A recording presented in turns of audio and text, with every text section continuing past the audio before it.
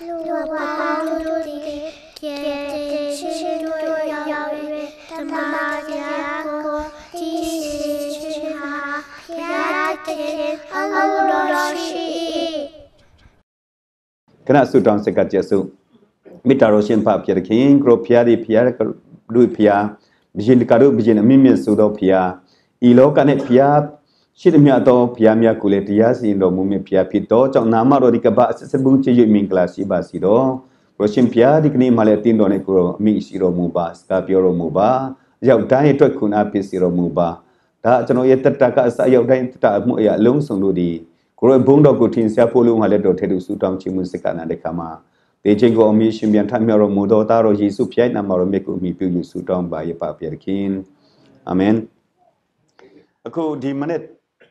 ကျွန်တော်အားလုံးတို့ကအစဉ်ချင်းနှလုံးသွင်းဖို့ရန်အချီပြုမဲ့ကျမ်းပိုက်ကတော့ရှင်လုကာခရစ်ဝင်ကျမ်းအခန်းကြီး9အပိုက်ငယ်တိကနေ30ထိဖြစ်ပါတယ်ဒီကျမ်းအာထဲကနေမဖတ်ခင်မှာကျွန်တော်အနေငယ်သူ့ရဲ့အကြောင်းကိုပြောချင်တယ်ခရစ်တော်ဖျားတက်တော်ထင်ရှားနေတဲ့အချိန်မှာလောကထက်မတက်တော်ထင်ရှားနေတဲ့အချိန်မှာခရစ်တော်ဟာဖျားရှင်စစ်ဖြစ်တယ်ဆိုတော့အားလုံးယုံကြည်တယ်ဟုတ်လေဟုတ်တယ် တိုးတော်လေလူသားလူဇာတိကိုခံကြလာတဲ့ခါမှာသူ့အနေနဲ့တခါတလေအန်အော်တဲ့အချိန်ရှိတယ်နော်တမန်ကျမ်းစာကိုကျွန်တော်လေ့လာလေ့လာကြည့်တဲ့အခါမှာခရစ်တော်ဘုရားဟာနှစ်ကြိမ်တိတိသူအန်အော်သွားတာတွေ့ခဲ့တယ်ဘယ်ဘာဖြစ်လို့ခရစ်တော်ဘုရားအန်အော်တယ်လဲသူမသိလို့အန်အော်တယ်လားအန်အော်ရဲဆိုတာဟာတကယ်ပဲပေါ့နော်ကိုထင်တာထက်ကြီးမားတဲ့အမှုဖြစ်လာတဲ့ခါမှာအန်အော်စရာဖြစ်တယ်ကိုထင်တာထက် ဘာမှမဟုတ်တဲ့ခါမှာလည်းအန်အော်စရာဖြစ်တတ်တယ်အဲ့ဒါကြောင့်ဒီကနေ့ခရစ်တော်ဖခင်ရဲ့အန်အော်တဲ့အာသူ့မလို့စိန်ခရစ်တော်ဖခင်ကိုအန်အော်စီလောက်တဲ့ယုံကြည်ခြင်းဆိုတဲ့ခေါင်းစဉ်ကိုတတ်ထပ်ပြီးတော့တိုက်တွန်းအားပေးလိုပါတယ်ဒီရှင်အာရှင်လုကာခရစ်ဂျန်ခန်ကြီးခုနှစ်တပိုင်ငယ်တိကနေစပ်ပြီးတော့အာကျမ်းနာကြရအောင်ထိုဒေသနာတော်ကိုယေရှုသည်ပရိသတ်တို့အားအကုငစင်ဟောတော်မူပြီးမှကပိရနောင်မြို့သို့ ကြွတော်မူ၏ထိုမြို့နှင့်တတ်မှု၏ကျွန်တယောက်သည်နာကျွတေခာနေရှိသူသည်တခင်သူ၏တခင်သည်သူ့ကိုချစ်၍ယေရှု၏တည်င်းတော်ကိုကြားလျင်ယူဒအမျိုးအကြီးအကဲတို့ကိုအထံတော်သို့စီလွှတ်သည်ဖြင့်ကိုတော်သည်ကြွ၍အတအထူကျွန်ကိုချမ်းသာပေးတော်မူမည်ကြောင်းတောင်းပန်လေ၏ထိုသူတို့သည်ယေရှုထံတော်သို့ရောက်လျင်ကြည်စိုးတော်ကိုခံမိသူဒီခံထိုက်တော်သူဖြစ်ပါ၏ သူသည်အကျွန်ုပ်တို့အမျိုးကိုနှစ်သက်၍အကျွန်ုပ်တို့အဖို့တရားစရိုက်ကိုစောက်ပါပြီဟု၍ကြက်ကြက်တောင်းပန်ကြ၏ယေရှုသည်ထိုသူနှင့်အတူကြွတော်မူ၏တတ်မိုးအိမ်နှင့်မနှင်းမဝီရောက်တော်မူသောအခါတတ်မိုးသည်မိမိအစေတို့ကိုစီလွှတ်၍သခင်ကုကုပင်ပန်းစီတော်မူမူပါနဲ့အကျွန်ုပ်ဤအိမ်မိုးအောက်သို့ကြွတော်မူခြင်းကျေးဇူးတော်ကိုအကျွန်ုပ်မခံထိုက်ပါ ထို့အတူအကျွန်ုပ်သည်ကိုတော်ထံသို့ရောက်ထိုက်တော်သူမဟုတ်သည်ကိုအကျွန်ုပ်ထင်ပါပြီအမိန့်တော်တခုရှိလျင်အကျွန်ုပ်ဤငယ်သားသည်ချမ်းသာရပါလိမ့်မည်ဥပမာကအကျွန်ုပ်သည်မင်းအောက်၌ကျွန်ခံတော်သူဖြစ်တော်လဲစစ်သူရဲများကိုအုပ်ဆို၍တအိုးကိုတွားချေဟုဆိုလျင်တွားပါ၏တအိုးကိုလာခဲ့ဟုခေါ်လျင်လာပါ၏ကျွန်ကိုလည်းဤအမှုကိုလုတ်တော့ဟုဆိုလျင်လုတ်ပါ၏ဟုတတ်မှုလျှောက်လေ၏ ထိုစကားကိုယေရှုသည်ကြားတော်မူလျင်အံ့ဩခြင်းစီ၍နောက်တော်သူလိုက်တော်သူများကိုလှည့်ကြည့်လျက်ငါဆိုဒီကဤမြတ်လောက်သောယုံကြည်ခြင်းကိုဣတရီလအမျိုး၌ပြင်ငါမတွေ့ဘူးတည်ဟုမိန့်တော်မူ၏တန်မှုစီလိုတော်မူသောတန်မှုစီလိုသောသူတို့သည်အင်သို့ပြန်ရောက်လျင်အနာယောဂဆွေတော်ကျုံသည်ကျမ်းမာလေးရှိသည်ကိုတွေ့ကြ၏ဖတ်တော်ရတမချမ်းစာပြန်ရောက်တိုင်းဖျားရှင်ကောင်းကြည်ပြပါစေခဏဆုတောင်းဒီကျမ်းပိုက်ကိုကျွန်တော်တို့ ဘယ်နေရာမှာဖတ်တွေ့ရတယ်လဲဆိုလို့ရှိရင်ရှင်မတဲခရစ်ကျမ်းအခန်းကြီး၈ထဲမှာလည်းတွေ့ရတယ်။ဒါပေမဲ့ရှင်မတဲခရစ်ကျမ်းအခန်းကြီး၈ထဲကဟာနဲ့ဒီရဟာကိုတေချာမှာဖတ်လို့စင်နားလေဘူးအမတာမှခက်ခဲတယ်။ရှင်မတဲခရစ်ကျမ်းအခန်းကြီး၈ထဲမှာတော့ဒီတတ်မှုကိုယ်တိုင်ကသူကိုယ်တိုင်တွားပခရစ်တော်နဲ့စကားပြောတယ်လို့လို့ရေးသားထားတာတွေ့ရတယ်။ဒါပေမဲ့ဒီမအာရှင်လုကာထဲမှာတော့တတ်မှုကသူကိုယ်တိုင်မတွားဘဲနဲ့သူ့တပည့်များကိုစီလွတ်တယ်ဆိုတော့ဖော်ပြထားတယ်။ ဒီရှင်မာတက်ထဲမှာတော့သူကိုယ်တိုင်တွားတယ်လို့လို့ရေးသားထားတယ်။ဆိုတော့ကျမ်းစာဟာတဏှာနဲ့တဏှာကိုက်ညီမှုမရှိဘူးလားလို့တခါတလေစဉ်းစားမိတတ်တယ်ပေါ့နော်ဒါပေမဲ့ဒီတေချာလေးလာကြည့်တဲ့အခါမှာဒီတတ်မှုတယောက်အနေနဲ့ခရစ်တော်ဖျားထံတို့သူကိုယ်တိုင်မတွားဘဲနဲ့သူ့လိုတွေကိုစီလွတ်ထားတာကိုအာစာရေးဆရာကနေသူကိုယ်တိုင်တွားတဲ့ပုံစံနေနဲ့ပြောထားတာဖြစ်တယ်ရေးသားထားတာဖြစ်တယ်ဆိုတာအားလုံးသဘောပေါက်ဖို့လိုအပ်တယ်သူမလို့စင်ရှင်မတဲ့ထက်ကနေဖတ်လို့စင်တမျိုး ဒီစင်လူကထက်ကနေဖတ်တာဆိုတမျိုးဆိုပြီးတော့သဘောပေါက်လွဲသွားမှာဆိုလို့ဒီနောက်ခံအကြောင်းလေးတွေကိုကျွန်တော်ပြောပြသွားတာဖြစ်တယ်ဒီခုနပြောသွားပြီးတယ်လို့တမန်ကျမ်းစာထဲမှာခရစ်တော်ဖျားအံ့ဩတယ်ဆိုတဲ့စကားလုံးဟာ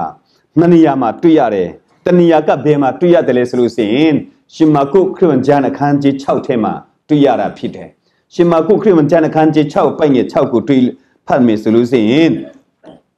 ဘလူဖောဘလူဖောပြတ်ထားတယ်လေဆိုလို့ရှိရင်ရှင်မာကုခရစ်ဝင်ကျမ်းအခန်းကြီး6ပိုက်ငယ်6ကိုဖတ်လို့ရှိရင်ထိုသူတို့သည်မယုံကြည်ကြသည်ကိုအံ့ဩခြင်းစိတ်တော်မူ၏လို့ပြောထားတယ်ခရစ်တော်ဘုရားအံ့ဩခြင်းရှိတယ်ဆိုပြီးတော့ဘယ်အချိန်မှအံ့ဩတယ်လဲအခုနကကျွန်တော်ပြောသွားတဲ့ဒီရှမာကုခရစ်ယာန်ကျမ်းအခန်းကြီး6ထဲမှာဆိုလို့ရှိရင်ခရစ်တော်ဘုရားဟာသူကြီးပင်းခဲ့တဲ့နေရာခါလီလီပီကိုသွားလျှောက်ခဲ့တယ် အဲ့မှာသူကနမိတ်လက္ခဏာတွေလုပ်တယ်လူသေးတွေကိုရှင်ပြန်ထမြောက်ရှိပြီးတော့မကျမမာတော့သူများကိုလည်းကျမ်းမာစေတာကိုတွေ့ရတယ်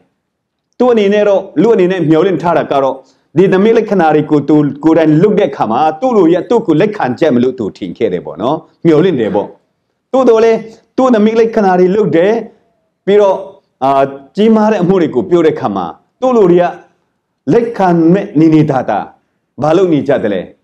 ပူပြီးတော့ အာသူ့ကိုအပုံကန်ကြတယ်ပေါ့နော်သူ့အဖေကိုလည်းငါတို့သိတယ်ယောဆက်ယောတရဲ့သားမဟုတ်ဘူးလားသူအမာရီရဲ့သားမဟုတ်ဘူးလားသူ့ညီကိုဒီကိုလည်းငါတို့သိတာပဲဘာဖြစ်လို့သူကတကယ်အာဘာလို့ဘာဖြစ်လို့ तू ကနမိတ်လက္ခဏာတွေ तू ဘယ်ကနေရပြလုံနေတယ်လဲ तू ပညာတော်မတတ်တဲ့လူတယောက်ပဲဘာဖြစ်လို့ဒီနမိတ်လက္ခဏာတွေလုတ်တယ်လဲဆိုပြီးတော့လူတွေကသူ့ကိုကဲ့ရဲ့ကြတယ်ပေါ့နော်အဲ့လိုကဲ့ရဲ့တဲ့အခါမှာ तू အနေနဲ့ အော်ဒီလူတွေကငါကိုလက်ခံမလို့ तू ထင်ခဲ့တဲ့အရာကိုလုံးဝလက်မခံလွန်းအားကြီးတဲ့အတွက်ကြောင့်ခရစ်တော်ဘုရားဟာအန်အောသွားတာဖြစ်တယ်စဉ်းစားကြည့်တယ်ပေါ့နော်ကိုယ့်အသက်တာကိုယ်စီကိုလည်းစဉ်းစားကြည့်ပါကျွန်တော်တို့ခုနဖတ်တဲ့ချမ်းပိုက်ထဲမှာတော့ခရစ်တော်ဘုရားကိုဒီတတ်မှုကနေယုံကြည်လွန်းအားကြီးတဲ့အတွက်ကြောင့်ခရစ်တော်ဘုရားအန်အောသွားတယ်ဒါပေမဲ့ကလေးလေးလူတွေကတော့ခရစ်တော်ဘုရားကိုမယုံကြည်လွန်းအားကြီးတဲ့အတွက်ကြောင့်ခရစ်တော်ဘုရားအန်အောသွားတယ်ပေါ့နော် ဒီကနေ့ကျွန်တော်အသက်တာအတိအကိုလည်းစဉ်းစားကြည့်ပါပေါ့နော်ဘယ်အချိန်မှာခရစ်တော်ဘုရားကျွန်တော်အသက်တာမှာအန်အောသွားတယ်လဲယုံကြည်တဲ့ယုံကြည်ထိုက်လက်သားနဲ့မယုံကြည်လို့ခရစ်တော်ဘုရားဟာအန်အောနေသလားသူမဟုတ်ကျွန်တော်ယုံကြည်တဲ့ယုံကြည်ကြည်ထိုက်တဲ့ထက်ကိုယ်အယုံကြည်ချင်းစိတ်အားကြည်လွန်အားကြည်လို့ခရစ်တော်ဘုရားအန်အောနေသလားဆိုတာကိုစဉ်းစားကြည့်ပါ ခရစ်တော်အန်လင်မအောဘူးဘာမှလည်းတုံ့ပြန်မှုမရှိဘူးတကယ်ပဲညီကြွားတယ်ဆိုရင်ဆိုရင်လေကိုယ့်တတကူစစ်စစ်ဖို့လိုအပ်တယ်ပေါ့နော်ထို့ကြောင့်ဒီကနေ့ခရစ်တော်ဘုရားရဲ့အန်အောတဲ့အမှုအရာနဲ့ပတ်သက်ပြီးတော့ဒီတတ်မှုတယောက်ရဲ့တက်တာမှာဘာဖြစ်လို့ခရစ်တော်ဘုရားအော်တယ်လဲဆိုတာကိုကျွန်တော်တက်တာမှာသင်ခန်းစာယူဖို့ဒီကနေကျွန်တော်တို့လေ့လာသင်ကြားဖို့ရန်ဖြစ်ပါတယ်ဒီခုနပြောသွားပြီးတယ်လို့ပဲရှင်မရှင်လုကာခရစ်ကျမ်းခန်းကြီး ခொနစ်အပိုင်ငယ်တိကနေဖတ်သွားတဲ့အချိန်မှာဆိုလို့ရှိရင်ဒီတတ်မှုတယောက်အနေနဲ့ဒီတတ်မှုတယောက်ဟာကပေရနောင်မြို့မှာရှိတယ်အဲ့ဒီကပေရနောင်မြို့ဟာဘယ်နေရာမှာရှိစဉ်ခါလီလီပြည်နယ်မှာရှိတယ်အဲ့ဒီခရစ်တော်ဖျားတက်တော်ထင်ရှားတဲ့ခါမှာဒီပတ်ဝန်းကျင်ဟာအာဘယ်လိုပြောမလဲနေမီတုံးနေရလို့ပိုင်းထားတယ်လို့ပြောရမှာပေါ့နော်ပထမကတော့ခလေးလေးပြည်ဖြစ်တယ်ဂျားထဲမှာစမာရိပြည်ရှိတယ်အောက်ဆုံးမှာယူဒာပြည်ရှိတယ်ပေါ့နော် အမှခရစ်တော်ဘုရားတကယ်မွေးဖွားတဲ့နေရာကတော့ဘယ်နေရာလဲဆိုယူဒာပြည်ဖြစ်တယ်တိုးတော်လည်းတကယ်ကြီးထွားတဲ့နေရာကျတော့ခလေးလေးပြည်ဖြစ်တယ်သူကအီဂျစ်ပြည်ကိုထွက်ပြေးသွားတယ်အီဂျစ်ကနေပြန်လာတဲ့ခါမှာယူဒာပြည်ဖက်ကိုမတော်တော့ဘဲနဲ့ခလေးလေးပြည်နာဇရက်မြို့မှာသူကကြီးထွားသွားတာဖြစ်တယ်အဲ့ဒီခါကျတော့ဒုခရစ်တော်ဘုရားကြီးထွားတဲ့နေရာပတ်ဝန်းကျင်မှာခရစ်တော်ဘုရားကိုသူတို့ကယုံကြည်လက်ခံပြီးတော့အာသူ့ကိုစင်ပေအနေနဲ့လက်ခံကြဖို့သူမျှော်လင့်ခဲ့ပေမဲ့ လက်မခံကြတဲ့အတွက်ကြောင့်သူအန်အော်သွားတယ်ဆိုပြီးပေါ်ပြထားတယ်။သို့တော်လည်းဒီနေရာပေါ့နော်ဒီကပေရနောင်မြို့ကိုသူရောက်သွားတဲ့အချိန်မှာသူကတတ်မှုတယောက်အနေနဲ့သူခရစ်တော်အကြောင်းကိုသူကြားလိုက်တယ်။ဒီကပေရနောင်မြို့ဟာတကယ်မြို့ကြီးပြတ်ကြီးတော့မဟုတ်ဘူးထင်တယ်။လေတတ်မှုတယောက်လောက်တော့နေတယ်ပေါ့နော်။တတ်မှုဆိုတာကတော့အားလုံးတဲ့အတိုင်းပဲအဲ့ဒီခေတ်မှာဆိုလို့ရှိရင်ဂျူဒလူမျိုးတွေကတတ်မှုတွေဘယ်သူမှရှိမှာမဟုတ်ဘူးရောမလူမျိုးတွေပဲဖြစ်မှာပဲတည်ချတယ် ဆိုတော့တပားအမျိုးသားလို့လေဖော်ပြထားတယ်ပေါ့နော်ဒီတပားအမျိုးသားဖြစ်တဲ့တတ်မှုတစ်ယောက်ကဒီကပီရောမြို့ကို तू อ่ะအာကွက်ကဲတယ်ပေါ့နော်ဥဆိုးတယ်ပေါ့အဲ့ချိန်မှာဒီတတ်မှုတစ်ယောက်ကဘယ်လိုသဘောထားရှိတယ်လဲဆိုလို့ရှိရင်အမတမသူ့ရဲ့စိတ်နေသဘောထားသူ့ရဲ့တက်တာမှာအမတမအာတို့တင်ခန်းစာယူဖို့ရှိတာကဘာလဲဆိုလို့ရှိရင်ပြန်ပြီးတော့ဖတ်ချင်တယ်ထိုဒေသနာတော်ကိုယေရှုရဲ့ပရိသတ်တို့အားအကုန်အစင်ဟောတော်မူပြီးမှကပေရနောမြို့သို့ကြွတော်မူ၏ ထိုမြို့၌တတ်မှုဒီတတ်မှုဤဂျုံတယောက်ဒီနာ၍တေခါနေရှိထိုမြို့မှာရှိတဲ့တတ်မှုတယောက်ရဲ့ဂျုံလို့ဖော်ပြထားတယ်သူ့ရဲ့သားလည်းမဟုတ်ဘူးเนาะသူ့ရဲ့ဂျုံဖြစ်တယ်အဲ့ဒီခေတ်တုန်းကကျွန်တော်အားလုံးသိတဲ့အတိုင်းပဲဂျုံနဲ့ဂျုံပိုင်စင်ခေတ်ဖြစ်တယ်ဂျုံပိုင်စင်နဲ့ဂျုံနေဟာအမတန်မှတရိษံလူခိုင်းပြီးတော့ပေါ့နော်စစ်တိုက်ဖို့အပျော်အပအတွက်လုတ်ခိုင်းလုတ်စားဖို့ခိုင်းတာပဲဖြစ်တယ် အဲ့တုန်းကဂျုံချစ်တယ်ဆိုတာကတော်တော်လေးရှားပါခဲ့တယ်ပေါ့နော်ဂျုံချစ်တဲ့အချိန်မဟုတ်ဘူးဂျုံချစ်တဲ့ခေတ်မဟုတ်ဘူးဂျုံကိုခိုင်းစားတဲ့ခေတ်ဖြစ်တယ်တိုးတော်လဲဒီတတ်မှုတယောက်အနေနဲ့သူ့ဂျုံကိုဘယ်လိုဖော်ပြထားဆိုသူ့ဂျုံကိုချစ်တယ်လို့ဖော်ပြထားတယ်ဒီတတ်မှုရဲ့ယုံကြည်ခြင်းကိုခရစ်တော်ဘုရားကအန်အော်လောက်တဲ့ဘောနော်သူ့ရဲ့ယုံကြည်ခြင်းကခရစ်တော်ဘုရားကအန်အော်လောက်အောင်သူ့မှာယုံကြည်ခြင်းရှိတယ် သူ့တော်လဲသူ့ရဲ့ယုံကြည်ခြင်းရဲ့နောက်ွယ်မှာသူ့အတ္တမှာဘာတွေရှိတယ်လဲဆိုလို့ရှိရင်သူ့မှာအမတန်မှချစ်ချင်းမေတ္တာရှိတဲ့သူပုဂ္ဂိုလ်ဖြစ်တယ်ဆိုတာတွေ့ရတယ်အဲ့ဒါကြောင့်သူအရာအဖြစ်ကျွန်တော်ဘာသင်ခန်းစာရတယ်လဲဆိုလို့ရှိရင်ယုံကြည်ခြင်းဟာချစ်ချင်းမေတ္တာနဲ့အမဲရန်ရှင်တွဲလက်ရှိတယ်ဆိုတာကျွန်တော်နားလေသဘောပေါက်ရတယ်ပေါ့နော်တချို့အယုံကြည်ခြင်းအားကြီးပေမဲ့အိမ်နီးနားချင်းတော့မချစ်တတ်တဲ့လူလည်းရှိတတ်တယ်ကိုအမျိုးသမီးကိုအမျိုးသမီးကိုအမျိုးသားတော်မှမချစ်ဘဲနဲ့ပေါ့နော် အရင်ပတ်တော့ပြောပြောတယ်လို့သူ့အကြောင်းကိုအတင်းပြောတတ်တယ်နော်သူတစ်ပတ်အကြောင်းပြောအတင်းပြောတာအင်မတန်မှဝေဒနာပါတတ်တယ်ဒါပေမဲ့ယုံကြည်ခြင်းအဖြစ်အသက်ရှင်နေဆိုလို့ရှိရင်ဘာနဲ့ရှင်အမေရန်ရှင်တွဲနေတယ်လဲဆိုလို့ရှိရင်ယုံကြည်ခြင်းဟာချစ်ချင်းမေတ္တာနဲ့အမေရန်ရှင်တွဲနေတယ်ဆိုတာတွေ့ရတယ်ဒီကနေ့ကျွန်တော်များရဲ့ယုံကြည်ခြင်းတော့ချစ်ချင်းမေတ္တာနဲ့ရှင်တွဲနေသလားမေတ္တာနဲ့ရှင်တွဲသလားတို့မဟုတ်ယုံကြည်ခြင်းမှာတော့စိတ်အားထက်တန်နေပြီးတော့ဘောနော် မေတ္တာမပါဘဲနဲ့ယုံကြည်ခြင်းပဲစိတ်အားထက်တန်နေသလားဆိုတာစမ်းစစ်ဖို့လိုအပ်တယ်သူအဲ့ဒီတတ်မှုတယောက်နေနဲ့ဘယ်သူကိုချစ်တယ်လဲဆိုရင်သူ့ချွန်ကိုချစ်တယ်တဲ့ခုနပြောသွားပြီးတယ်လို့သူ့ရဲ့ background ကိုတည်ချကြည့်မယ်ဆိုလို့ရှိရင်အဲ့ဒီခေတ်တုန်းကအချွန်ကိုချစ်တဲ့ခေတ်မဟုတ်ဘူးနော်အင်ဖော်လို့မဟုတ်ဘူးတကယ့်ချွန်ပဲအဲ့ကချွန်ကိုတို့တည်တည်ရင်တော့မှတချူအာတချူတာမဟုတ်ဘူးဒီတိုင်းပဲပစ်ထားတာပဲဖြစ်တယ်နော်ဆိုတော့ အဲ့ဒီတန်မှုတယောက်နေတဲ့သူ့ချွန်ကိုဘယ်လောက်ချစ်တယ်လဲသူ့ချွန်ရဲ့ယောဂဟာရှင်မတဲ့ခရုန်ဂျန်ခန်ကြီး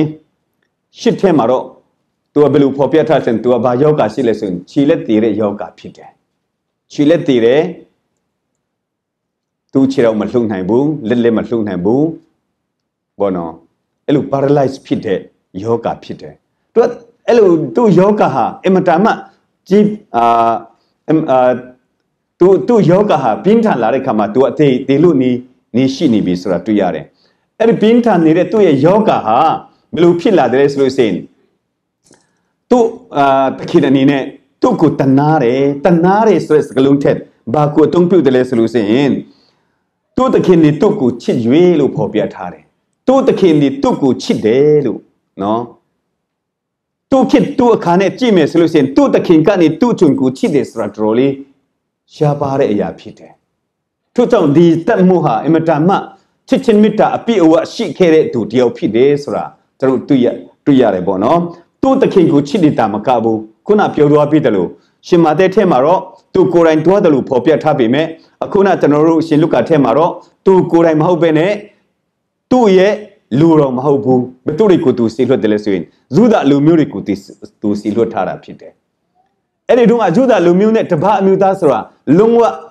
ပေါင်းတင်လို့မရဘူးသူအတူနေလို့မရဘူးအထူးသဖြင့်ဂျူဒလူမျိုးတွေအင်မတန်မှတပမျိုးသားတွေကိုယွန်စရာတယ်အထူးသဖြင့်အစွရဝန်ထမ်းတွေအခွင့်ခံတွေဆိုအင်မတန်မှမုန်းကြတယ်ပေါ့နော်ဒါပေမဲ့ဒီနေရာကိုကျွန်တော်တေချာလေ့လာကြည့်တဲ့အခါမှာဘယ်လိုပေါ်ပြထားတယ်လဲဆိုလို့ဆိုရင် ယေရှု၏တရင်တော်ကိုကြားလျင်ဇုဒအမျိုးအကြီးအကဲတို့ကိုအထံတော်သို့စီလွတ်သဖြင့်တဲ့ဒီတတ်မှုအနေနဲ့ဘယ်သူကိုစီလွတ်တယ်လဲဂျူဒလူမျိုးတွေရဲ့အထက်မှာတော့မှအကြီးအကဲတွေကိုသူစီလွတ်ထားတာဖြစ်တယ်နော်တဘောကတော့ယူဒလူမျိုးအကြီးအကဲတွေကလည်းသူ့ရဲ့စကားကိုနားထောင်ကြတယ်ဆိုတဲ့တဘောဖြစ်တယ်ဒီပင်နေရာတွေမှာတော့ယူဒလူမျိုးတွေကတပတ်အမျိုးသားဆိုရင်အမတမယွန်ရှာရဲစကားနားထောင်ဖို့နေနေတတ်တာမပြောနဲ့ တအားကိုယွန်တာတိုးတော်လေဒီတမှုအနေနဲ့ယူဒလူမျိုးတွေကိုအမတမချစ်တဲ့အတွက်ကြောင့်ယူဒလူမျိုးတွေကလည်းသူ့ကိုအမတမချစ်နေတာမကဘူးသူ့စကားကိုလည်းနားထောင်ကြတာကိုတွေ့ရတယ်သူကဘာဘာသူတို့ဘာပြောတယ်လဲဆိုရင်ယူဒအမျိုးအကြီးအကဲတို့ကိုအထံတော်သို့စီလွတ်တဲ့ဖြင့်ကိုရောဒီကြွ၍ကျွန်ုပ်ထိုကြုံကိုချမ်းချမ်းသာပြီးတော်မူမည်ကြောင်းတောင်းပန်လေ၏ ထိုသူတို့သည်တဲ့ယေရှုထံသို့ရောက်လင်ထိုသူတို့သည်ဆိုတာကသူစီလွတ်ထားတဲ့ယူဒအကြီးအကဲတွေဖြစ်တယ်ထိုသူတို့သည်ယူဒအကြီးအကဲတို့သည်တဲ့ခရစ်တော်ဘုရားထံသို့ရောက်တဲ့ခါမှာသူကခရစ်တော်ဘုရားဆိုငါတို့လူမျိုးဆိုတော့သူကအစွဲလန်းရှိတယ်ဆွဲလန်းတဲ့ခါမှာသူကသူတို့အနေနဲ့ဗာပြောလဲဆိုလို့ရှိရင်ထိုသူသည်တဲ့ဒီမှာဂျေဇုတော်ကိုခံမိသူဒီခံထိုက်တော်သူဖြစ်တယ်တဲ့သူကခရစ်တော်ဘုရားသခင်မှာစကားပလင်တော်ခံတယ် ဘယ်လိုစကားပလင်တော်ခံလဲဆိုရင်ငါတို့တောင်းပန်မဲ့ဒီအာတက်မှုဟာဂျေဇုတော်ကိုခံထိုက်တော်သူဖြစ်တယ်လို့သူတို့ကပြောတယ်။ဘာဖြစ်လို့ဂျေဇုတော်ကိုခံထိုက်တော်သူဖြစ်တယ်လို့သူတို့ပြောတယ်လဲ။ဆိုလို့ရှိရင်ထိုတက်မှုကနေသူ့ရဲ့ဇုန်နေတာမကဘူးသူ့လူတွေသူ့မစင်ဇူးတာလူမျိုးတွေကိုလည်းတအားချစ်တယ်ဆိုတာကိုသူတို့နားလေသဘောပေါက်ရတယ်။ဘယ်လောက်ထိသူချစ်တယ်လဲဆိုလို့ရှိရင်ကျေးဇူးတော်ကိုခံမိသူဒီခံထိုက်တော်သူဖြစ်ပါ၏သူဒီတဲ့ သူဒီဆိုတာကတတ်မှုကိုဆိုလိုတာဖြစ်တယ်သူဒီအကျွန်ုပ်တို့ကိုအကျွန်ုပ်တို့အမျိုးကိုနှစ်သက်ကြွေအကျွန်ုပ်တို့အဖို့တရားစရက်ကိုစောက်ပါပြီဟုကြက်ကြက်တောင်းပန်ကြ၏နော်ဒီချက်ဖတ်လို့စင်နားလေလွယ်တယ်ဘောနော်တဘောကတော့ဗာလဲဆိုစင်ဒီတတ်မှုစင်မှာတတ်မှုကနေယူဒအကြည့်အကဲတွေကိုစီလွတ်တယ်စီလွတ်တဲ့ခါမှာခရစ်တော်ဘုရားခင်မှာသူကတောင်းပန်တယ်တဘောတရားတောင်းပန်တာမဟုတ်ဘူးကြက်ကြက်တောင်းပန်တယ် တဘောကရဇုဒလူမျိုးရဲ့ idea ထဲမှာဘာရှိမလဲခရစ်တော်ဘုရားဟာဇုဒလူမျိုးဖြစ်တယ်ဇုဒလူမျိုးအချင်းချင်းစကားပြောနေတယ်ဒါမဲ့တပတ်အမျိုးသားအတွက်တောင်းပန်နေတာဖြစ်တယ်ဒီတပတ်အမျိုးသားဟာဂျေဇုကိုခံထိုက်တော်သူဖြစ်တယ်ဘာဖြစ်လို့ဂျေဇုခံထိုက်တယ်လဲ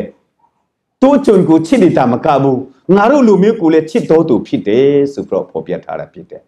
ငါတို့လူမျိုးကိုလည်းသူအင်မတန်မှချစ်တယ်ပစတ်နဲ့ချစ်ယုံမကဘူးဘာလို့ကြည့်တယ်လဲ တရားစက်ကူလည်းငါတို့အတွက်စောက်ပြီးတယ်တဲ့ထို့ကြောင့်ဒီတတ်မှုဟာဒီယူဒလူမျိုးများကနေအမတန်မှယူဆရာတော့တပအမျိုးသားဖြစ်နေပြီမဲ့ဒီတတ်မှုတယောက်အနေနဲ့သူ့ရဲ့ဂျူနေတာမကဘူးဒီယူဒလူမျိုးများအားလုံးကိုလည်းသူအမတန်မှချစ်တဲ့အတွက်ကြောင့်သူတို့အတွက်တရားစက်ကိုလည်းစောက်ပြီးထားတာဖြစ်တယ်ထို့ကြောင့်ဒီတတ်မှုရဲ့တက်တာမှာဘာရှိတယ်လဲဆိုရင်အမတန်မှသူ့ချွန်ကိုလည်းချစ်တတ်တဲ့ ချစ်ချင်းမေတ္တာသူ့ရဲ့လူမျိုးကိုလည်းချစ်တတ်တဲ့ချစ်ချင်းမေတ္တာရှိတယ်ဆိုတာတွေ့ရတယ်ထို့ကြောင့်ခရစ်တော်ဘုရားကသူ့ရဲ့ယုံကြည်ခြင်းကိုအန်အော်ရဲ့ခါမှာသူ့ရဲ့ယုံကြည်ခြင်းနဲ့ဘာကူအမေရန်စင်တွဲနေတယ်လဲဆိုလို့ရှိရင်သူ့ရဲ့ယုံကြည်ခြင်းနဲ့သူ့ရဲ့မေတ္တာဟာအမေရန်စင်တွဲနေတာကိုတွေ့ရတယ်ထို့ကြောင့်ဒီကနေ့ကျွန်တော်တို့ယုံကြည်တော်သူများအားလုံးအနေနဲ့လည်းကျွန်တော်တို့ခရစ်တော်ဘုရားကိုယုံကြည်တယ် ယုံကြည်ခြင်းအဖြစ်သက်ရှင်တယ်ယုံကြည်ခြင်းအဖြစ်အလုံးလုပ်တယ်ဆိုတဲ့အခါမှာအမေရန်ဒီချစ်ချင်းမေတ္တာနဲ့ရှင်တွဲမှတာလင်အောင်မြင်မှုရှိတယ်ချစ်ချင်းမေတ္တာမပါဘဲနဲ့ကျွန်တော်လွတ်ဆောင်တဲ့မြတ်တော်အရာဟာအချင်းကြီးဖြစ်တယ်ဆိုပြီးတော့ကိုရင်တိုရာစာပထမစာဆောင်အခန်းကြီး33မှာဖော်ပြထားတယ်ဝိညာဉ်တော်ရဲ့အသီးနဲ့ဝိညာဉ်တော်ရဲ့အစုကျေစုနဲ့ဝိညာဉ်တော်ရဲ့အတီးကိုနိုင်ရှင်ကြည့်မယ်ဆိုလို့ရှိရင်ကိုရင်တိုရာစာပထမစာဆောင်အခန်းကြီး30နဲ့နှစ်ကိုကြည့်မယ်ဆိုလို့ရှိရင်ဘာအကြောင်းဖော်ပြတယ်ဆိုလို့ရှိရင် တန်ရှင်တော်ဝင်တော်ရဲ့စုကျေးဇူးမြတ်အကြောင်းကိုရေးသားထားတာတွေ့ရတယ်။ထို့သောရေးသားထားပြီးတဲ့ရေးသားထားပြီးတဲ့နောက်နောက်ဆုံးနေ့ကုန်ချုပ်ပြီးတော့အခန်းကြီး7နှစ်ကိုအဆုံးသတ်တဲ့ခါမှာတာ၍မြတ်တော်လန်းကိုငါပြတ်အောင်မေလို့ဖော်ပြထားတယ်။တာ၍မြတ်တော်လန်းတဘောကတော့အခန်းကြီး7နှစ်မှာဖော်ပြထားတဲ့စုကျေးဇူးထက်တာ၍မြတ်တဲ့လန်းကိုငါပြတ်အောင်မေဆိုပြီးတော့အခန်းကြီး7နှစ်ကိုအဆုံးသတ်လိုက်တယ်။အခန်းကြီး33ကိုရောက်တဲ့အခါမှာတိကောထဲမှာပြောတာနော် ဒီတိကောထဲမှာအခန်းကြီး33ကိုရောက်တဲ့အခါမှာဗာပြောလဲဆိုရင်ချစ်ချင်းမေတ္တာမရှိဘဲနဲ့နော်ကိုခန္ဓာဒီမီးလောင်ဒီတိုင်အောင်လွန်ကျွလောင်ကျွမ်းနေတိုင်အောင်ပြီးဆက်တော်ညာလဲမေတ္တာမပါရင်အချင်းကြီးဖြစ်တယ်တရားဘယ်လောက်ပဲဟောဟောနော်ဘယ်လောက်ပဲပြောင်းနိုင်ပြောင်းနိုင် prophet ပြုတ်နိုင်ပြုတ်နိုင်ချစ်ချင်းမေတ္တာမရှိဘူးဆိုလို့ရှိရင်ဒါလည်းအချီးနှီးဖြစ်တယ်ဆိုပြီးတော့ပေါ်ပြထားတယ်ပြီးတော့အခန်းကြီးတစ်စနဲ့တုံးကိုအဆုံးတတ်လာပြီ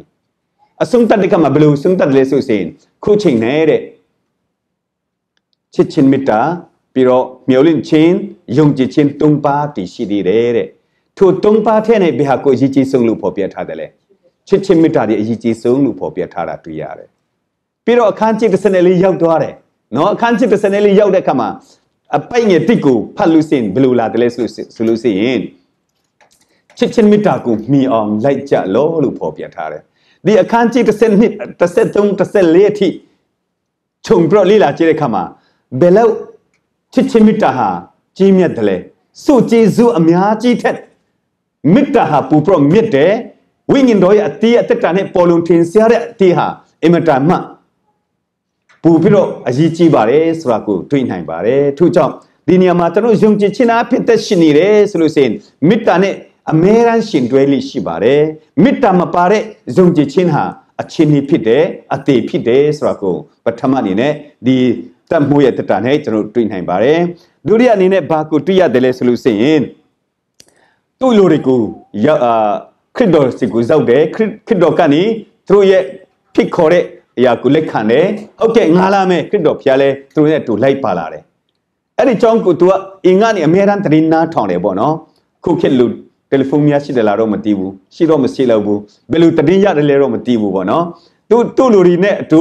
ခရစ်တော်ဖျားဟာသူ့ရဲ့အကျုံကိုကျမ်းမာစေဖို့ကျွတ်အာကျွတ်ရောက်လာတယ်လာနေတယ်ဆိုတာကိုသူသိတယ်သိတဲ့အခါမှာအဲ့ဒီခါကျတော့ယူဒအကြည့်အကဲတွေကိုမဟုတ်တော့ဘူးသူ့ရဲ့တုံရဲ့ချင်းတွေပေါ့နော်သူ့ရဲ့ဘလူလာတလဲဆိုရင်ပိုင်ရ6ပေါ့နော်ယေရှုနေသူတို့နဲ့အတူကြွတော်မူ၏တတ်မှုအိမ်နဲ့မနေမဝီရောက်တော်မူတော့အခါတတ်မှုဒီမိမိအဆွေတို့ကိုစီလွတ်၍တဲ့ ပထမပထမမှာတော့ဒုဒအကြည့်အကဲတွေကိုစီလွတ်တယ်ဒုတိယမှာတော့သူ့ရဲ့အဆွေအမျိုးတွေနော်သူ့နဲ့အနိစ္စတွေသူ့ရဲ့သူ့နဲ့အနိကတ်လူတွေကိုထပ်ပြီးစီလွတ်လိုက်တာဖြစ်တယ်ကျွန်တော်ဒီတီတီချက်ချက်မစင်းစားခင်မှာစဉ်းစားမိတာတခုကဘာလဲဆိုရင်ဘာဖြစ်လို့ဒီလူကဒီတက်မှုကနေသူကိုယ်တိုင်မတွားဘဲနဲ့ပထမမှာတော့ယူဒလူမျိုးတွေစီလွတ်တယ်ဒုတိယမှာသူ့ရဲ့စီရီကိုစီလွတ်တယ် အာဒီလူကမာနတော်တော်ကြီးပါလားလို့ငါထင်ခဲ့တယ်ပေါ့နော်ထင်စရာလည်းဖြစ်တယ်သူကိုယ်တိုင်မှမတွားတာသူ့လူတွေကိုပဲစီလွတ်စီလွတ်လိုက်တယ်ဒါပေမဲ့သူ့ရဲ့စကားကိုပြန်ကြည့်တဲ့အခါမှာဘယ်လိုသူစကားပြောခဲ့တယ်လဲဆိုလို့ဆိုရင်ယေရှုတွေသူနဲ့အတူကြတော်မူ၏တတ်မှုအိမ်နှင့်မနှီးမဝီရောက်တော်မူသောအခါတတ်မှုတွေမိမိဆေတို့ကိုစီလွတ်၍သခင်ကိုကိုပင်ပန်းစီတော်မူစီတော်မူမူပါနဲ့ကျွန်ုပ်ဒီကျွန်ုပ်ဤအိမ်မိုးအောက်သို့ ကြွအာဝင်တော်မူခြင်းကျေးဇူးကိုကျွန်ုပ်မခံထိုက်ပါထို့အတူကျွန်ုပ်ဒီကိုတော်ထံသို့ရောက်ထိုက်တော်သူမဟုတ်ဒီကိုကျွန်ုပ်ထင်ပါ၏ထင်ပါပြီလို့ပြောထားတယ်စဉ်းစားကြည့်တဲ့အခါမှာပထမမှာတော့ तू ကတကယ်မာနကြည့်လို့သူဟာသူထင်ကြီးနေလို့ခရစ်တော်ကိုသူကိုယ်တိုင်သူကမတွေ့ဘဲနဲ့သူ့လူတွေကိုဆီလွတ်ဆီလွတ်နေတယ်လို့လဲလူခံစားခဲ့တယ်ပေါ့နော်သူတော်လဲတကယ်သူ့ရဲ့စိတ်နဲ့တဘောထားကဘာလဲဆိုလို့ရှိရင်ခရစ်တော်ဖခင်ဟာငါအိမ်တို့ ကြွအရောက်ပြီးတော့ဝင်ရောက်လာဖို့ရန်ငါအိမ်ဒီမထိုက်တန်ဘူးငါကိုယ်တိုင်လဲခရစ်တော်ဖခင်ထံသို့သွားဖို့ငါလည်းမထိုက်တန်ဘူးဘာတဘောလဲဆိုရင်သူဟာအင်မတန်မှနှိမ်ချက်တဲ့တဘောဖြစ်တာတွေ့ရတယ်နော် तू ကမာနကြည့်လို့ခရစ်တော်ကို तू ကမတွေ့တာမဟုတ်ဘဲနဲ့နှိမ်ချက်လုံးအားကြည့်လို့ तू ကိုယ်တိုင်မသွားနေတာဖြစ်တယ်မထိုက်တန်ဘူးလို့ तू ဟာ तू မြင်နေတာဟုတ်အဲ့ဒါကြောင့်ဒီယုံကြည်ခြင်းနဲ့ဘာကိုအမေရန်ဒုတိယခြင်းနဲ့ရှင်တွဲနေတယ်လဲဆိုရင် နှိမ်ချက်ခြင်းဆိုတာအမေရန်ရှင်တွဲလိရှိတယ်ယုံကြည်ခြင်းနဲ့မေတ္တာအမေရန်အတူရှင်တွဲတယ်သူနည်းတူဆိုပဲယုံကြည်ခြင်းနဲ့နှိမ်ချက်ခြင်းဆိုတာအမေရန်ရှင်ရှင်တွဲတယ်ငါယုံကြည်ခြင်းရှိတယ်ဆိုပြီးတော့နှိမ်ချက်ခြင်းမရှိဘဲနဲ့အသက်ရှင်လို့မရဘူးပတ်စံနဲ့ယုံကြည်လို့စင်တော့နှိမ့်ချက်ခြင်းမရှိဘဲနဲ့နေတတ်တယ်။ဒါမဲ့တကယ်ယုံကြည်ခြင်းတဲ့တက်တာကိုတက်တာထဲမှာရှိနေမယ်ဆိုရင်ထူထူတော့ထူထူတော့သူတို့ရဲ့တက်တာမှာအမတာမှနှိမ့်ချက်ခြင်းတက်တာဟာထင်ရှားတယ်ဆိုတာတွေ့ရတယ်။ စဉ်းစားကြည့်တယ်ပေါ့နော်တတ်မှုတယောက်တတ်မှုတယောက်အနေနဲ့သူ့အိမ်ဟာစုပက်လွန်းအားကြီးမယ်လို့ထင်သလား။ဟုတ်မှာမဟုတ်ဘူး။ဒီကပီရနောင်မြို့နဲ့အတိုင်းအတာနဲ့ကြည့်မယ်ဆိုဆိုလို့ရှိရင်အတင်းအတင်းတော့ဖြစ်နေမှာပဲအကောင်းဆုံးမဟုတ်နေရင်တော့မှသူ့အိမ်ဟာအကောင်းဆုံးမဟုတ်နေတော့နေတော့မှအတင်းအတင်းတော့ဖြစ်နေမှာတော့တည်ချတယ်။ဘာဖြစ်လို့ငါအိမ်မှာခရစ်တော်ဒီငါအိမ်ဒီခရစ်တော်ဝင်ဖို့မထိုက်တန်ဘူးလို့သူပြောတယ်လေ။သူခရစ်တော်ရဲ့ခရစ်တော်ကို ကယ်တင်ရှင်ခရစ်တော်ဖျားဖြစ်တယ်ဆိုတာကိုသူကိုယ်တိုင်သိတယ်သူ့အိမ်ဟာလောကအနေနဲ့လှပတဲ့အိမ်ဖြစ်နေတော့မှခရစ်တော်ကိုဝင်ဖို့ရန်သူ့အိမ်ဟာလုံးဝမထိတ်တန်ဘူးဆိုတာသူသိတယ်သူနှိုင်းရှင်ကြည့်တဲ့အခါမှာသူပိုင်ဆိုင်တဲ့အရာဘာမှမဟုတ်ဘူးခရစ်တော်ဘုရားအမတားမှကြီးမြတ်လွန်အားကြီးတယ်ဒါမဲ့သူကိုယ်တိုင်ကဘာမှမဟုတ်ဘူးသူ့အိမ်ပိုင်ဆိုင်တဲ့အိမ်လဲဘာမှမဟုတ်ဘူးဆိုတာသူသိတဲ့အခါမှာငါအိမ်ဒီကိုရောဝင်ဖို့ရန်မထိတ်တန်ဘူး ကိုရောမထိုက်တန်တာမဟုတ်ဘဲနဲ့သူ့အိမ်ကိုမထိုက်တန်တာဖြစ်တယ်နော်ကိုရောကတော့ထိုက်တန်လွန်အားကြည့်ပေမဲ့သူ့အနေနဲ့ငါအိမ်ဟာကိုရောဝင်ဖို့မထိုက်တန်ဘူးငါကိုယ်တိုင်လည်းတတ်မှုတယောက်ဆိုပြီးတော့မာနကြည့်ချင်းအဖြစ်မဟုတ်ဘဲနဲ့ငါကိုယ်တိုင်လည်းဘာမှမဟုတ်တဲ့လူဖြစ်တဲ့အတွက်ကြောင့်ခရစ်တော်သွားတွေ့ဆုံဖို့ရန်ငါလည်းမထိုက်တန်ဘူးလို့သူပြောလိုက်တယ်ခရစ်တော်ဖျားနာမတော်တိုင်ပုံကြည့်ပါစေစဉ်းစားကြည့်ပါကျွန်တော်တို့မြအနေနဲ့အောင် ငါထိုက်တာနဲ့ငါအမှုတော်ဆောင်တယောက်ပဲငါတင်းလူကြီးတယောက်ပဲဆိုတော့မာနကြီးပြီးတော့ခရစ်တော်ဖျားတယ်မှာသူဝင်ချင်းကနေသလားမရဘူးနော်ထိုကဲ့သို့သောအတ္တအဖြစ်ဖျားနဲ့တွေ့ဆုံလို့မရဘူးကျွန်တော်မနေ့ကဒီအာတင်းတော်စာအိုက်ဇက်ကိုတင်းတော်မှာတော့ပြောခဲ့တယ်ယုံကြည်သောသူမြတ်တရမှာခရစ်တော်ဖျားရဲ့ခြေတော်ရင်း၌တူဝင်ချင်းကပြီးတော့နှိမ့်ချသောသူတာလည်းခရစ်တော်ဘုရားကအသုံးပြုတာဖြစ်တယ်နှိမ့်ချက်ခြင်းမရှိဘဲနဲ့မာနကြည်သောသူနဲ့ခရစ်တော်လုံးဝ မတွေ့ဆုံနိုင်ဘူး။သူဟာတွေ့ခွင့်လည်းသူမရှိဘူး။ထို့ကြောင့်ဒီကနေ့ခရစ်တော်ဘုရားရဲ့အံ့ဩလောက်တဲ့ယုံကြည်ခြင်းဟာဘာနဲ့အမြဲတမ်းရှင်တွဲတယ်လဲဆိုရင်ချစ်ချင်းမေတ္တာနဲ့ရှင်တွဲတဲ့တက်တာဖြစ်တယ်။ဒုတိယအနေနဲ့နှိမ်ချက်ခြင်းနဲ့ရှင်တွဲတဲ့တက်တာဖြစ်တယ်။ထို့ကြောင့်ဒီတတ်မှုတရားရဲ့ယုံကြည်ခြင်းဟာခရစ်တော်ဘုရားကအံ့ဩလောက်တယ်ဆိုတဲ့ယုံကြည်ခြင်းသူ့မှာရှိတယ်။သူဟာမေတ္တာနဲ့သူ့အကျိုးနေတာမကဘူး။သူ့ရဲ့လူမျိုး အမှန်ဆိုသူ့လူမျိုးတော်မဟုတ်ဘူး။ तू ကတပါမျိုးသားဖြစ်တယ်။ယူဒလူမျိုးတွေကိုလည်းချစ်တယ်။ချစ်ပြီးတော့ပစတ်နဲ့ချစ်ယုံမကဘဲနဲ့တရားစရက်ဒီပင်သူကိုယ်တိုင်စောက်ပြီးထားတာတွေ့ရတယ်။ထို့ကြောင့်သူ့မှာချစ်ချစ်မေတ္တာဘယ်လောက်ကြီးမားတာရှိတယ်။ကြီးမားတဲ့ချစ်မေတ္တာသူ့မှာဘယ်လောက်ရှိလဲဆိုတာဒီနားလေသဘောပေါက်ထားတယ်လို့သူ့အိမ်၌ဝင်ဖို့ခရစ်တော်ဟာမထိတ်ခရစ်တော်ဒီသူ့အိမ်၌ဝင်ဖို့သူ့အိမ်ဟာမထိတ်တန်ဘူး။သူကိုယ်တိုင်လည်းငါတတ်မှုတယောက်ဆိုတဲ့မာနကြီးပြီးတော့ ခရစ်တော်ကိုတွားတွေ့တာမဟုတ်ဘဲနဲ့မတွေ့နေရချင်းတွေသူ့ကိုယ်တိုင်ဟာခရစ်တော်နဲ့နှိုင်းရှင်လို့စင်ငါဟာငယ်လွန်းအားကြီးတယ်ဘာမှမဟုတ်ဘူးအနတ္တတက်တက်တာလည်းဖြစ်တယ်ဆိုတာသူ့ဟာသူသဘောပေါက်တဲ့အတွက်ကြောင့်ခရစ်တော်ဘုရားကိုသူကိုယ်တိုင်မတွေ့ဘဲနဲ့သူ့လိုတွေကိုစီလွတ်ထားတာဖြစ်တယ်သူ့လိုတွေစီလွတ်တဲ့အချိန်မှတွေပြင်လင်ပါဖြစ်တယ်လေခရစ်တော်သူ့အိမ်မှာဝင်ခံနေပြီကိုရောငါအိမ်အထိလာပြတော့မပင်ပင်ပန်းမခံပါနဲ့ပင်ပန်းမခံပါနဲ့ ကိုရောအမိန့်တော်ရှိတယ်ဆိုလို့ရှိရင်ငါအကျိုးနေကြမှာမယ်ဆိုပြောလိုက်တယ်သူတိတယ်သူ့ရဲ့ခရစ်တော်ဖခင်ရဲ့တကူတော်ခရစ်တော်ဖခင်ရဲ့အာလူနာကိုကျမ်းမာစီနိုင်တဲ့တကူတော်ဟာအကူအဝေးကနေအာဘယ်လိုပြောမလဲမတားဆီးနိုင်ဘူးဆိုတာသူသိတယ်ကျွန်တော်တို့အနိကတ်မှပဲအားရတယ်ပေါ့နော်ဆရာတွေကဆုတောင်းပြီးနေတော့မှဂုံးပေါ်မှာလက်တင်ပြီးတော့ဆုတောင်းတော့ပူပြီးတော့အားရတယ်မဟုတ်ဘူးလား အင်္ဂါနေဆရာနေဆုတောင်းပြီးတယ်ဆိုတာတက်အင်အင်ဒဏ်ရာရောက်လာမှအားရချင်တယ်မဟုတ်ဘူးလားဒါပေမဲ့ဒီတက်မှုတယောက်အနေနဲ့တော့ဘာဘယ်လိုတဘောအာပုတ်ခဲ့လဲဆိုလို့ရှိရင်ဒီခရစ်တော်ရဲ့တကူဟာငါငယ်သားကျမ်းမှာစီနိုင်မှုအကူအဝေးကနေဘာမှမဆိုင်ဘူးဆိုတာသူသိတယ်နော်ထို့ကြောင့်ကျွန်တော်တို့မြန်မာပြည်အတွက်လဲဆုတောင်းတဲ့အခါမှာကျွန်တော်ဆုတောင်းတိုင်းကိုဘုရားကနားညောင်းနိုင်တယ်ပေါ့နော်အာဝီလွန်အားကြီးတယ် သူမြန်မာပြည်အတွက်ဆုတောင်းစရာမလိုဘူးဆိုတဲ့သဘောမဟုတ်ဘူးသူနီးတူဆိုပဲကျွန်တော်တို့ဆရာတွေအမှုတော်ဆောင်တဲ့ခါမှာခရီးထွက်တဲ့ခါမှာလည်းကျွန်တော်ဆုတောင်းပေးတယ်အဝအကူအဝေးအားဖြင့်ဖရားရဲ့တကူဟာလုံးဝဒါစီလို့မရဘူးဆိုတာလေကျွန်တော်နားလေသဘောပေါက်နိုင်တယ်ထိုအရာကိုဒီတတ်မှုတယောက်အနေနဲ့ကောင်းကောင်းနားလေသဘောပေါက်တဲ့ခါမှာကိုရောငါအိမ်ထိလာပင်ပန်းခံပရောလာမကြွရောက်ပါနဲ့အမိန့်တော်ရှိပါ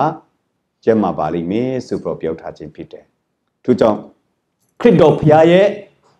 တကူတော်ဟာအကိုအဝေးအားဖြင့်မတားဆီးနိုင်တာမကဘူးသူ့ရဲ့ယုံကြည်ခြင်းဟာနှင့်ချက်ခြင်းနဲ့ရှင်တွဲလေးရှိတယ်ရှင်တွဲလေးရှိတယ်ဆိုတာကျွန်တော်နားလေသဘောပေါက်နိုင်တယ်ဒါတည်းအချက်နောက်ဆုံးအချက်အနေနဲ့ဘာကိုတွေ့ရတယ်လဲဆိုလို့ရှိရင်သူကဥပမာပေးထားတယ်သူဘာဥပမာပေးထားတယ်လဲဆိုလို့ရှိရင်ဥပမာကအကျွန်ုပ်ဒီမင်းအောင်၌ဂျွန်ခံတော်သူဖြစ်တော်လဲ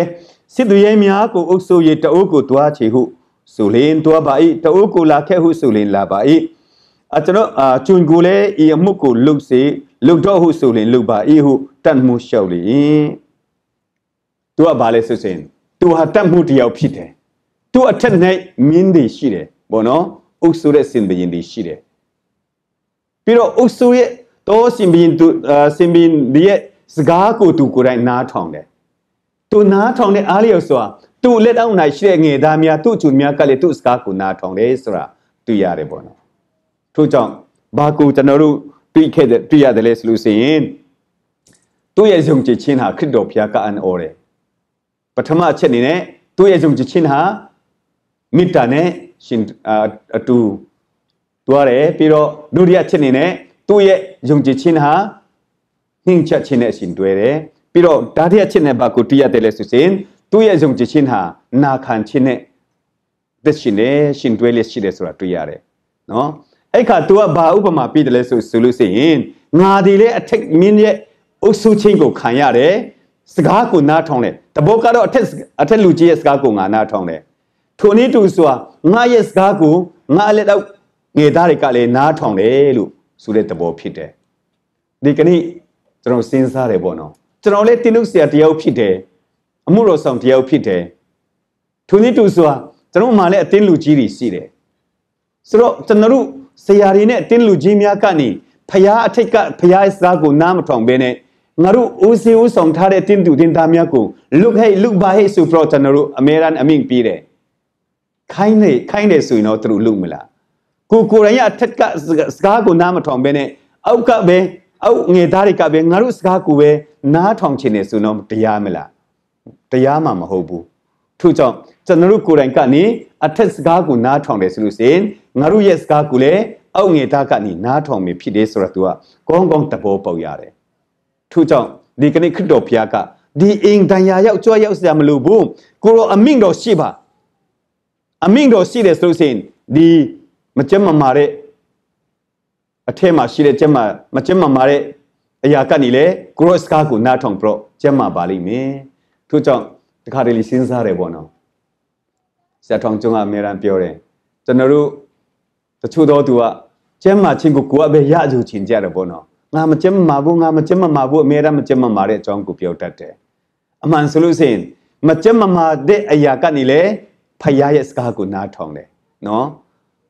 နတ်ဆိုရီကလည်းခရစ်တော်ဖယားရဲ့စကားကိုနားထောင်ပြီးထွက်ပြေးကြတယ်မကျမ်းမာတဲ့အရာကနေလေကျမ်းမာစီဆိုလို့ရှိရင်ထွက်ပြေးသွားကြတယ်ပေါ့နော် ဒီမကျမ်းမာတဲ့အရာကနေခရစ်တော်စကားကိုနားထောင်တယ်နတ်ဆိုရီကလည်းခရစ်တော်ဖျားစကားကိုနားထောင်တယ်ဆိုရင်ကျွန်တော်ယုံကြည်တော်သူများကနေရောစကားကိုနားမထောင်တင်ဘူးလားနားထောင်ဖို့ကောင်းတယ်နော်နာခံဖို့ကောင်းတယ်နော်ထို့ကြောင့်အာကျွန်တော်မေရန်ပြောတယ်အတင်းတော်ဆိုတာဟာအရင်ပတ်အလေးပြောခဲ့တယ်လားတော့မှတ်မိတော့ဘူးပေါ့နော်ကျွန်တော်တို့စကားကိုနားမထောင်တဲ့ကောင်းမာတဲ့လူတွေစုစုယုံတဲ့နေရာမဟုတ်ဘူး အတင်းတော်ဆိုတာဟာအာနာပြတဲ့နေရာလည်းမဟုတ်ဘူးနော်ငါဟာအတင်းလူကြီးပဲငါဟာပါစတာပဲဆိုတော့အာနာပြတဲ့နေရာမဟုတ်ဘူးအတင်းတော်ဆိုတာဟာပြောမယ်ဆိုလို့ရှိရင်စကားကိုနားထောင်တော်သူနာခံတော်သူများစုယုံတော်နေရာဖြစ်တယ်ထို့ကြောင့်အတင်းတော်မှာအတင်းတော်၌နာမခံတဲ့လူစီလူစင်တော်တော်လေးအတင်းတော်ဟာစုထွေးတတ်တယ်ပေါ့နော်ထို့ကြောင့်အတင်းတော်အာပြောမယ်ဆိုရင် ခရစ်အတင်းတော်ဆိုတာခရစ်တော်ခရစ်တော်ဟာအတင်းတော်ရဲ့ဥကောင်းဖြစ်တယ်ဒါဥကောင်းအဖြစ်ဘာကိုဆိုလို့တလဲဆိုရင်သူ့ရဲ့ဥဆိုမှုသူ့ရဲ့စကားကိုနားထောင်ဖို့ပေါ်ပြထားတာဖြစ်တယ်ထိုနည်းတူဆိုတာအတင်းသူအတင်းသားဆုံးจิตသူအားလုံးဟာခရစ်တော်ရဲ့ခန္ဓာကိုယ်ဖြစ်တယ်ဒီခရစ်တော်ရဲ့ခန္ဓာကိုယ်အဖြစ်ဘာကိုပေါ်ပြစီလဲဆိုရင်ခရစ်တော်ရဲ့ခန္ဓာကိုယ်ထဲ၌တလုံးတဝရနဲ့စကားကိုနာခံတော်သူများဖြစ်ဖို့လိုအပ်တယ်။ရံဖြစ်မဲ့နေရာမဟုတ်ဘူး ပြဿနာရှိဖြစ်ပွားစေတဲ့နေရာမဟုတ်ဘဲနဲ့တယောက်နဲ့တယောက်စကားကိုနာခံရမယ်ဖျားစကားကိုနာခံပြီးတော့တလုံးတဝရဲစီမဲ့အတင်းတော်ဖြစ်တယ်ထို့ကြောင့်ဒီကနေ့ကျွန်တော်အတင်းတော်များထဲမှာလည်းအထူးသဖြင့်တယောက်နဲ့တယောက်စေလုံးငင်ငွက်ပူလို့တယ်ထို့ထို့စေလုံးငင်ငွက်ငင်ငွက်နိုင်ဖို့ရန်ဘာလို့တယ်လဲဆိုလို့ရှိရင်တယောက်နဲ့တယောက်စကားကိုလည်းနာခံပူလို့တယ်အထက်ကဖျားစကားကိုကျွန်တော်နာခံပြီးတော့ဒီအတင်းလူကြီးစကားနာမခံဘူးဆိုတာလည်းမဖြစ်နိုင်ဘူးပေါ့နော် ဆရာရဲ့စကောက်ကလည်းနာမခံဘူးဟိုဦးစီဦးဆောင်တော်သူရဲ့စကောက်ကနာမခံနိုင်ဘူးဆိုတာလည်းမဖြစ်နိုင်ဘူးထို့ကြောင့်ဖျားစကောက်ကိုနာနာခံတယ်ဆိုတာဟာဘေပေါ်မှာပေါ်လွန်ထင်ရှားတယ်လေဆိုရင်အတင်းတော်နေတာလည်းဖြစ်တယ်နော်ဖျားကိုကြောက်ရွံ့တယ်ဆိုတာဟာအတင်းတော်နဲ့တွေ့ရတယ်ဖဖျားကိုချစ်တယ်ဆိုတော့လေအတင်းတော်နဲ့ပဲတွေ့ရတယ်